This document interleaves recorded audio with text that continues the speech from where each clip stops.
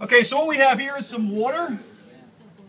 And that water is made of very polar water molecules. And water, polar water molecules, of course, have those hydrogens that have their electrons pulled away from it. So they're essentially free, almost protons, H pluses, who badly want an electron. You have sodium metal, which we just cut up here. And I'm going to drop that into the water.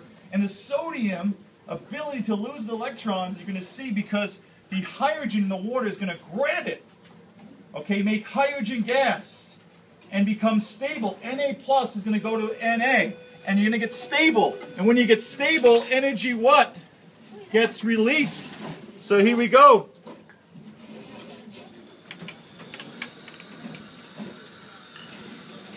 All right, Mike. Stay back.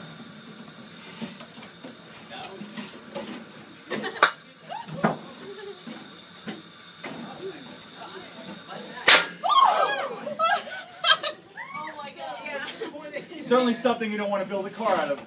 Have a great day. But what's left over is very stable sodium ions.